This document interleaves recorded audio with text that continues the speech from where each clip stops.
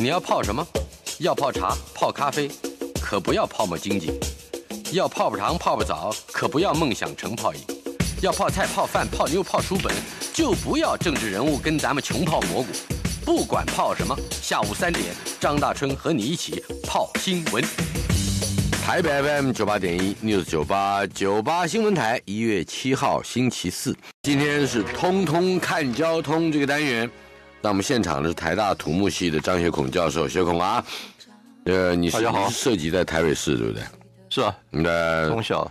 从小都就在台北，你是台北出生的，前面呃对台北出生，中间前面五岁以前住在高雄，啊，然后呢，然后就到台北念书。在台北你你你通常使用什么样的交通工具？从小到大我看都差不多，对不对？呃，小时候骑自行车，嗯一直骑到国中，嗯，那高中坐公车，二十二路从吴兴街 到成功高中，嗯哼嗯大学一直到新竹啊，啊，呃，所以呃都是公公共交通工具大居多嘛，对不对？对而且我知道你是坚持不买车的嘛，对吧？呃，我修正一下啊，我我我一九九零年回台湾教教书，呃，开了大概十多年，哦，自己是是。有车，呃、哦。呃，后来觉得台北以它公共运输的方便性啊，嗯。我就把我那个美国车啊送给我们政府啊，丢给环保局啊，哦，它有一个什么奖励措施嘛，啊，给了三千块钱，呃，忘了啊，那所以我已经大概十五年没有这个没有开车了。没有车，哎，嗯。每天骑带带着我这个自行车，嗯，我身上就别一个自行车，哎有看到了，你那个是一个好像是夫人设计的，是吧？这个一个一个别针，他说我推动绿色交通一定要有一个识别，嗯，这个在身上，嗯，是，好了，这个大台北的市民现在应该是按照我们的想想望之中，是比例上是越来越多在使用大众交通工具，这也比较符合，看起来是你你对于这个大都会的期待，对不对？对对，嗯，好了，那可是公车始终多年以来，不管谁执政，是不是一党独大的时代，或者政党轮替的时代，到现在，呃，这个独立候选人出来参选，成为我们的市长，可是还会碰到这个问题，公车经营起来是很辛苦的。对，呃，因为它不同的阶段嗯啊，大春，上次你点到这个很有趣的课题啊，那呃，现现在当这个这个感觉上，这个公车的这个不管它的硬体啊、嗯服务啊、资讯、场站啊，嗯越来越好，那当然是很多各方面的努力了。那早期我们说的早期是六十年前了啊，那时候公车为主嘛，嗯啊，台北市很多这个那时候还没有那么多摩托车，是，那大部分的这个公车，呃，像台北都会区早期有九家公车公司，那呃都是很多是地方士绅啊，那他们起来经营，那获得这个五六十年的特许经营权啊，是是，那当然，呃，大概十几年前开始，从刘道全当部长，这个各地方都有面临类似的问题，不只有台北都会区，是是。开始把路权合理化，就是每五年你获得这个路权，那我我们成立所谓路线审议委员会，成立这个票价审议委员会也就是，交通专家们，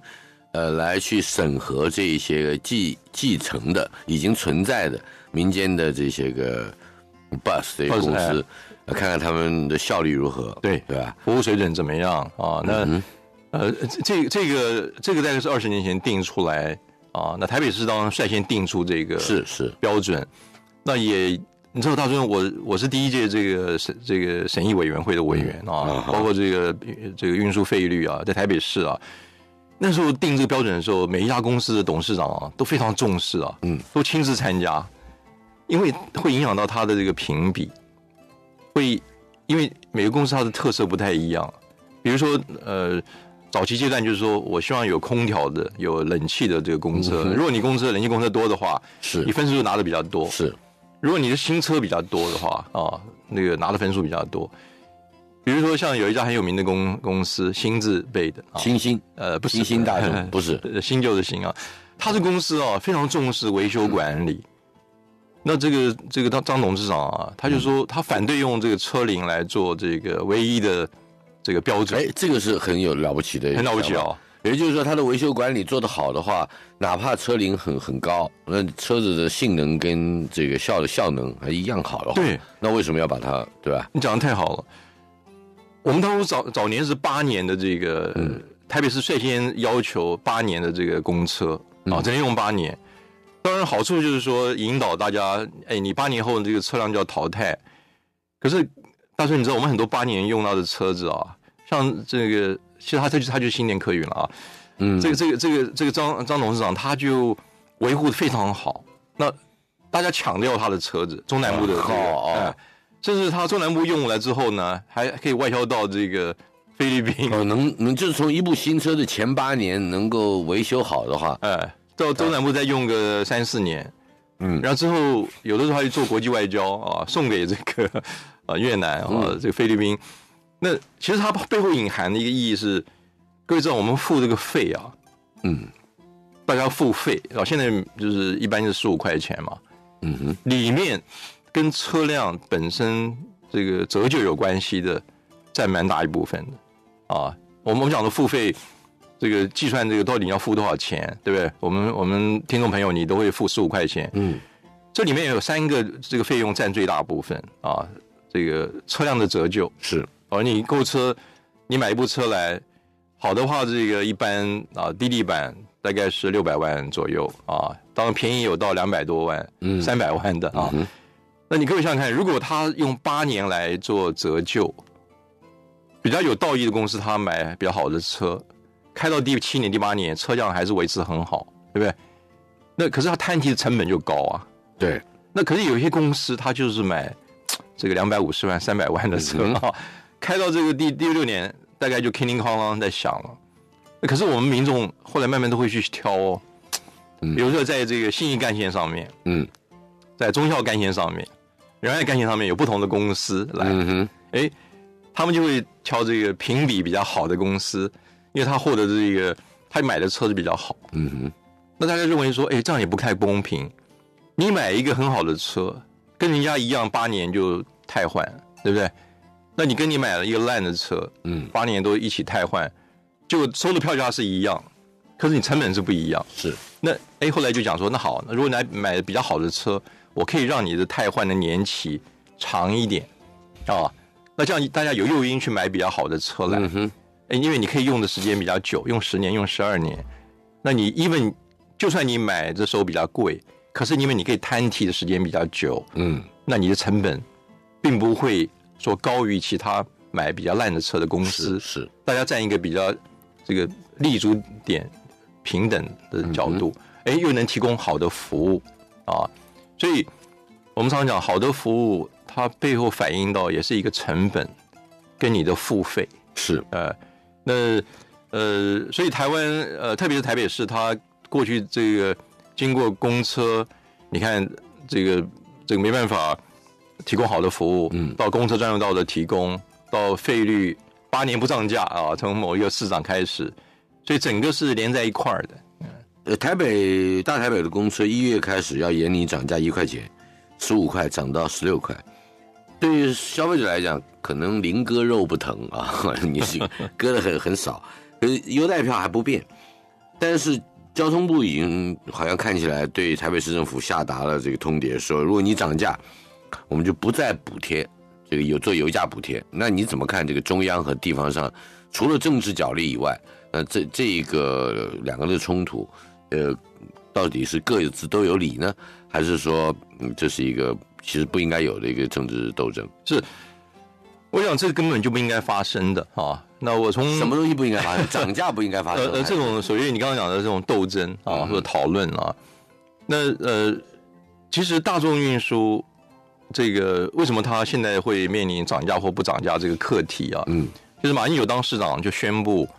这个公车八年不涨价啊。郝龙斌他也 follow 啊，也跟随这样一个这个政策。那呃，所以应该是十六年都没有涨价了啊，维持十五块钱。可是各位知道，这个在过程当中，当然油价起起伏伏啊，嗯，可是我们其他部分啊，呃，各位听众，我们在在分析这个你付费的时候啊，嗯，它基本的原理就是把这个呃公车经营上所需要的这个成本啊，嗯，摊摊算在十六项这个成本里面。我刚刚讲的这个呃车辆啊，这个司机的薪资，嗯啊，油耗啊，还有管理。场站啊，维护啊，那这些加总起来，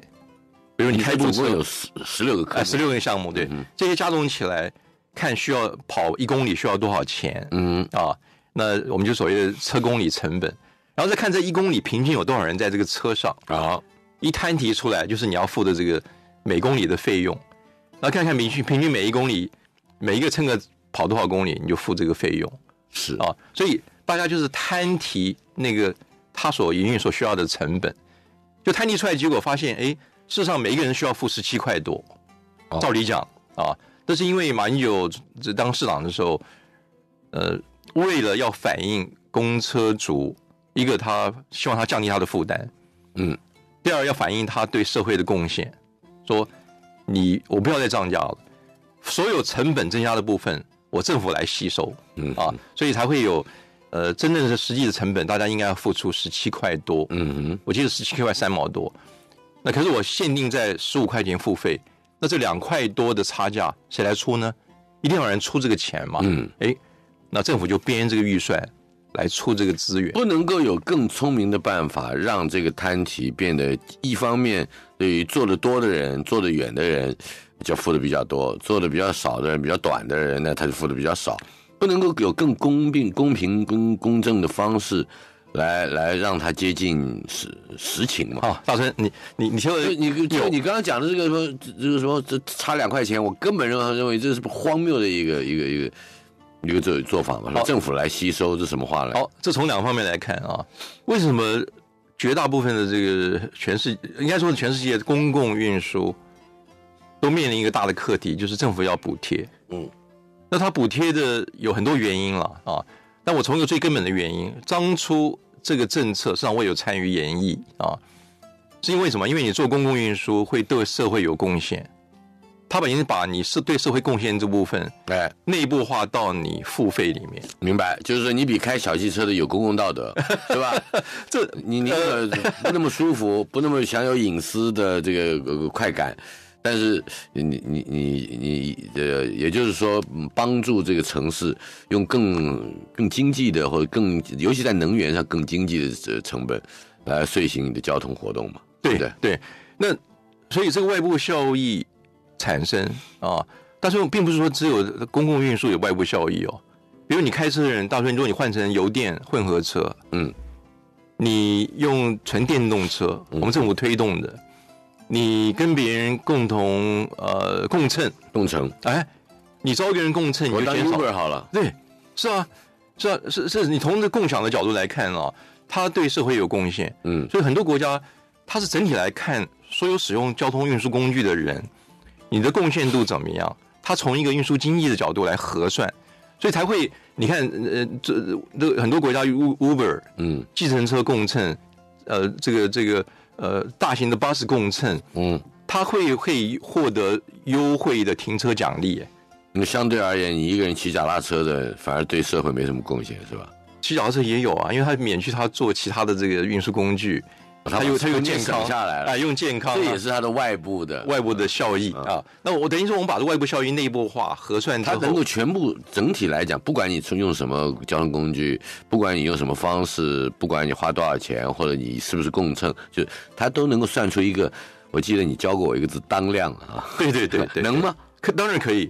每个人，你知道欧盟啊，他花了将近五年的时间，就来核算，嗯，在都市里面所有运输工具。它应该负的负担的成本，嗯，它应该被奖励的这个这个这个这个成本是这个这个这个价值是多少？为什么？因为他如果不算清楚，就像我们今天讨论的问题，就不公正了，就不公正，你就不知道应该对小汽车停车要收多少钱。嗯，你对没讲到这个问题，对啊，你对摩托车停车要收多少钱？然后你对公车到底要给他多少多少幅度的奖励或者优惠才合理啊？包括票价的优惠，包括你购买悠游卡的优惠，嗯，所以整个就是一个从运输经济跟管理的角度，透过税费的制度，嗯，啊，我们现在只有讲费哦，还没讲到税哦，是透过费用的给付来达到公平的的这个阶段啊。那当然又牵扯大的问题了，大春啊，我们在节目上也讲到了，其实，在一种状况之下，我们根本就不需要提供这种补贴了。你说交通部的这种补贴，补贴都不要了。嗯哼，如果我们基本面够大，如果台北是我我算过，如果台北都会区有一百分之六十的人使用公共运输，嗯哼，这个基本面够大的结果，每一个人分担到的这个这个成本，还反复反而会降低。嗯哼，而我整个收入足以来负负担这个营运上所需要的这个成本。那政府只要去做我们现在还差多少里次？哎，从台北都会区来看，只有百分之三十五的人使用公共运输，还差距离百分之。六十嗯，对啊，距距你看现在公车一天就大台北地区来看，所有的公车加在一起，将近大概是一百九十万旅次嘛。是，那捷运的话是两百万旅次嘛。嗯啊，我们把计程车算进来好了，一百一十万旅次。嗯哼，可是整个台北都会区一天是一千三百万旅次啊。是，哎，所以你从这个分布来看，怎么样让更多人使用公共运输？当你拉到那种程度了之后，它基本上营运方面，我讲的营运哦，还没讲到这个基础设施的投入啊，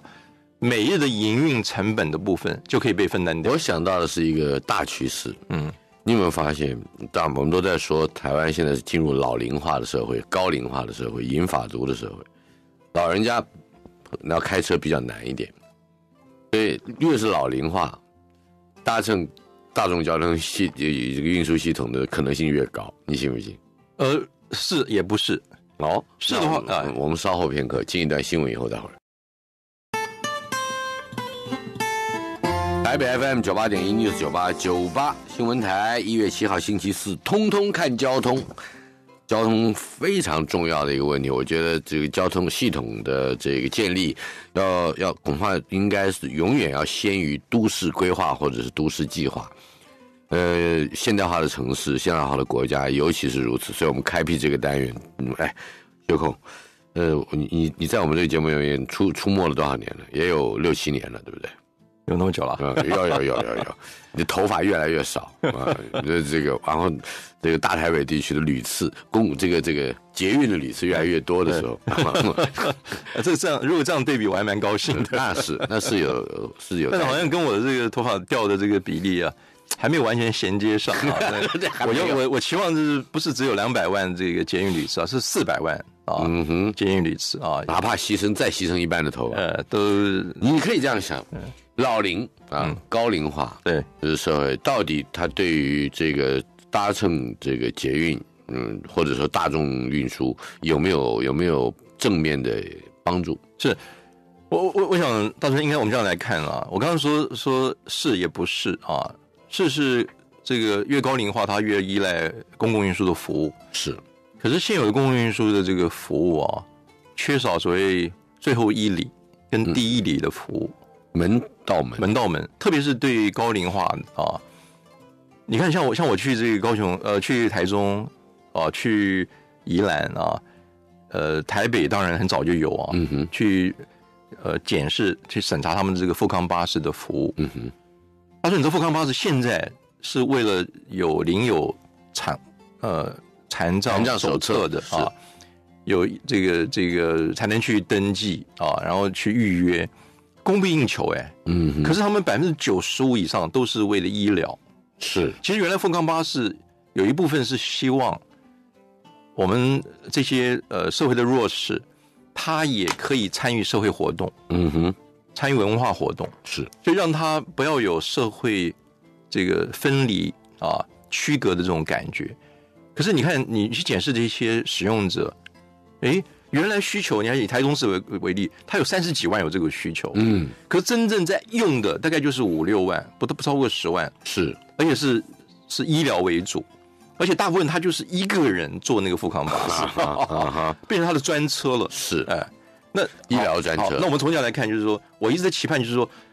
因应老年化社会，我们应该把这个富康巴士推展到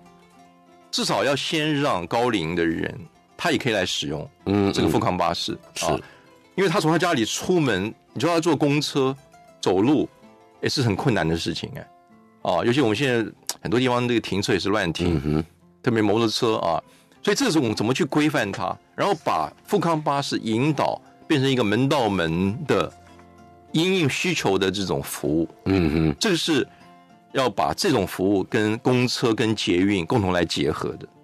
是，我们已经把题目从原先涨价补助的，再牵引到一个特定服务的呃形态了啊。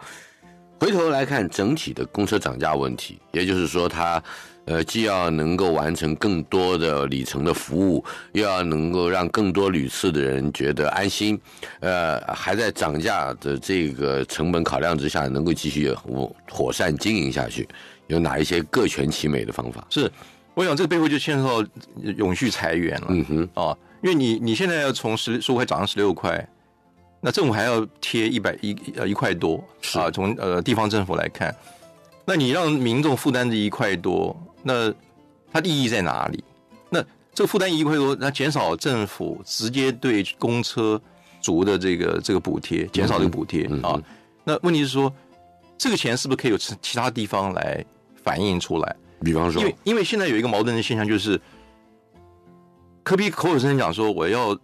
降低大众运输使用者的负担，嗯，让它比使用摩托车跟小汽车要便宜，对不对？那吸引更多人使用公共运输，可同时间你又把涨价涨价，这完全矛盾的。嗯哼。那所以有一个方式就是，当然很多城市也实现，就是把停车收费增加，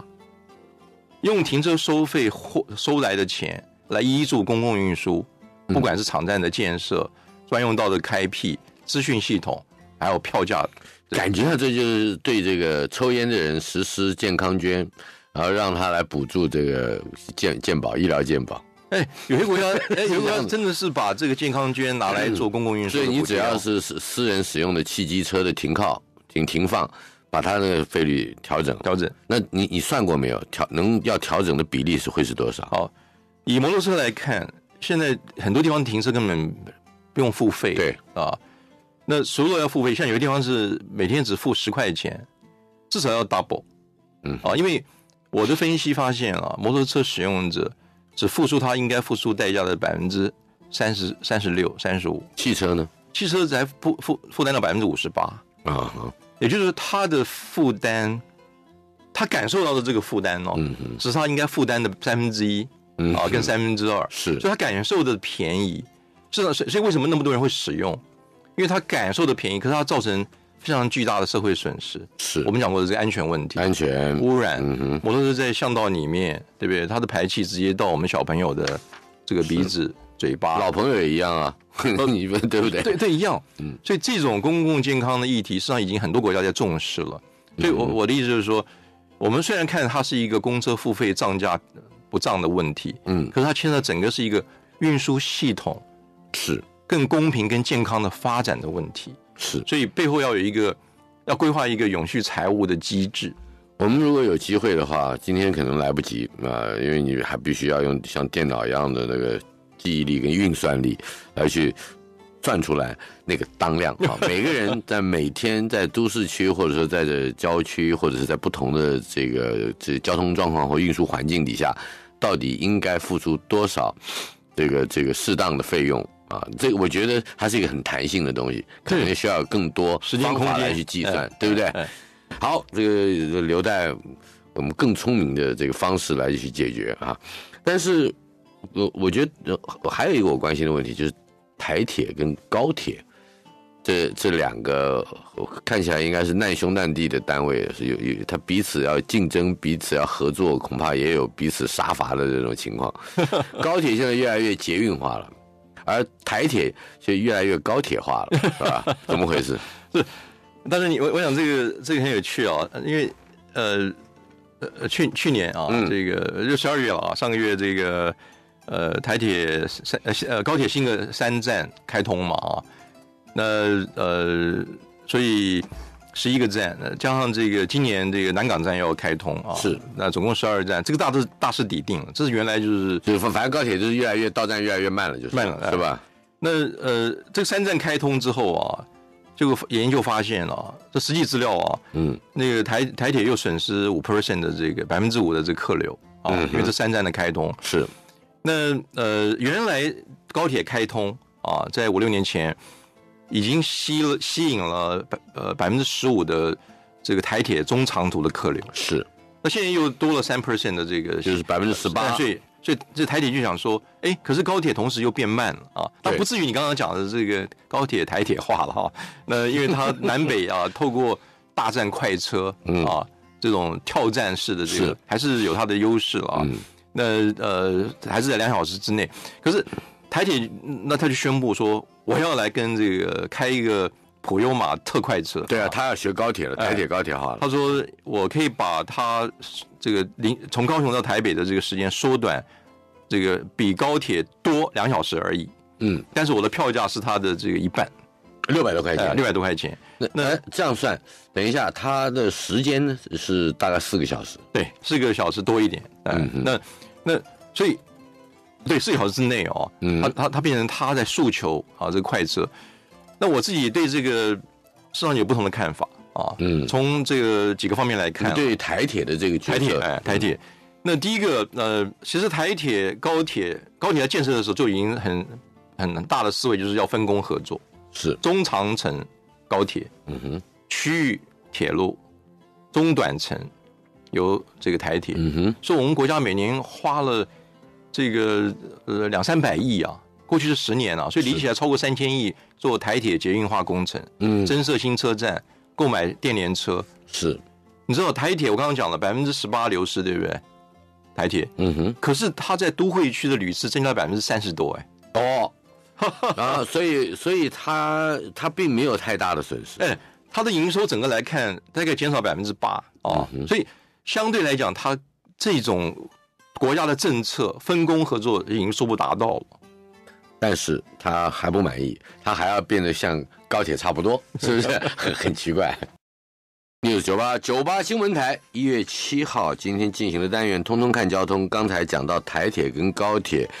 在营运方式上本来有所不同，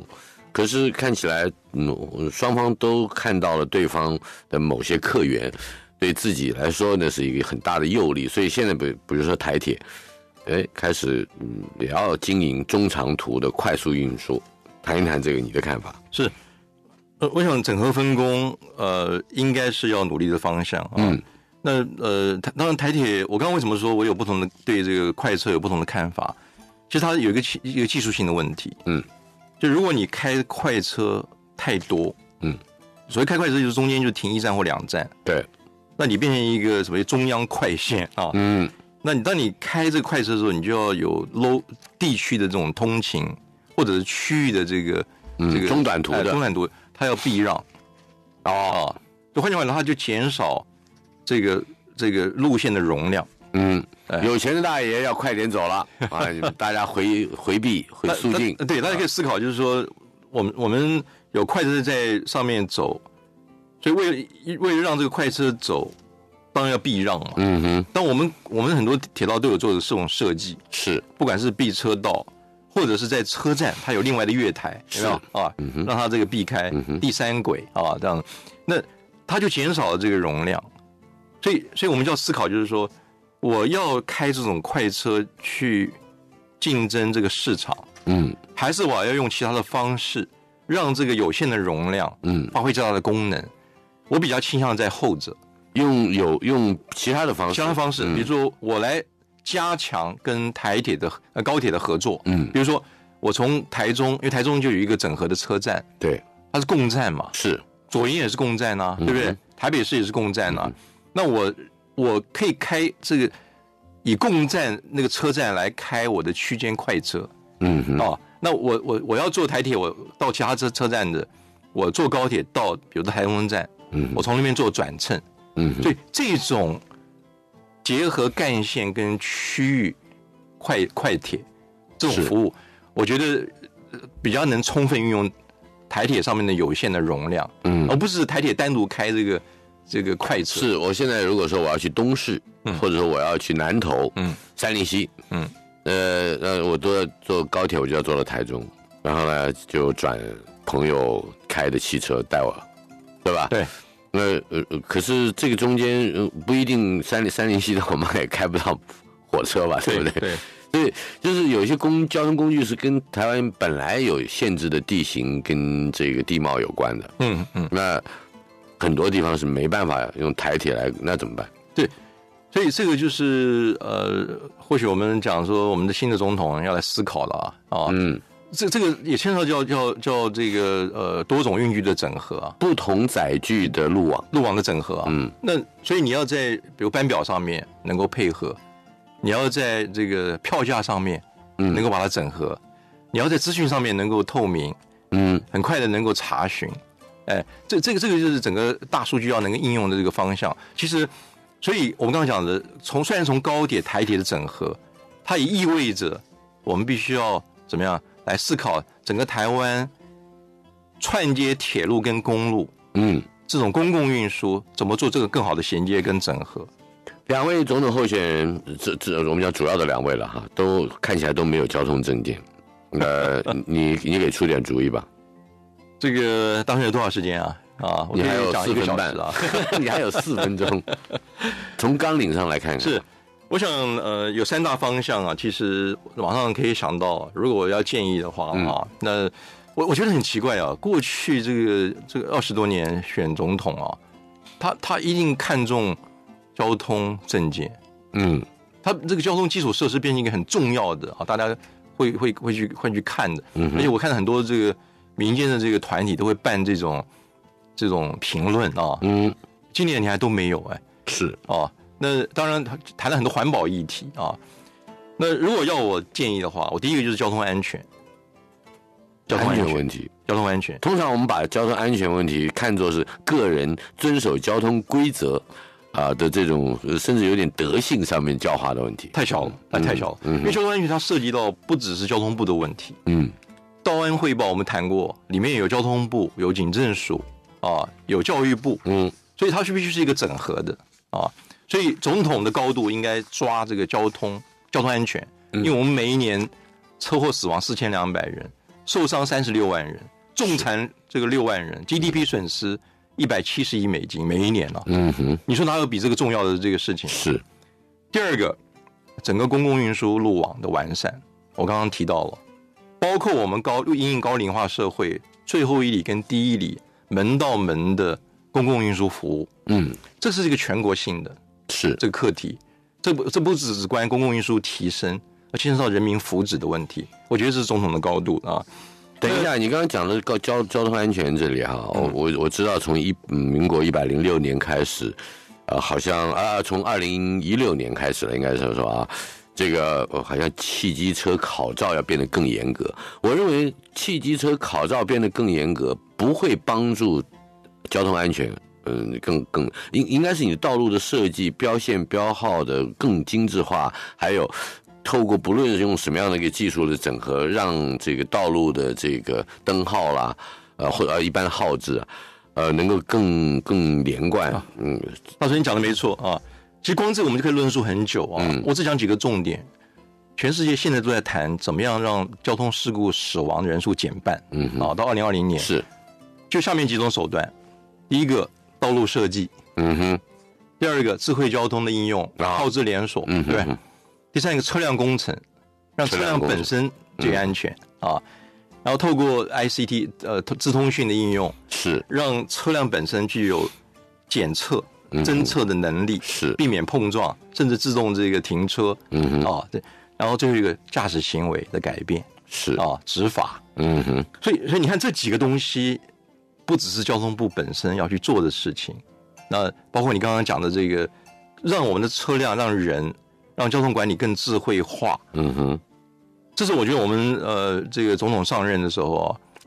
可以赶赶快去推动的。嗯呃，这个这个我们讲这个生产力四点零，对不对？嗯哼，哎，我提我们提了一个就是交通这个耗光是你刚才讲的这些联动啦、电脑啊什么哈，或者说是在这个标号标线的这种一贯性，这些本身的工程或者是技术的开发，恐怕都会增加产业的这个这个内容嘛，甚至还可以技术输出啊啊，对吧？好，感谢我们下我们下两个礼拜再再再再来谈。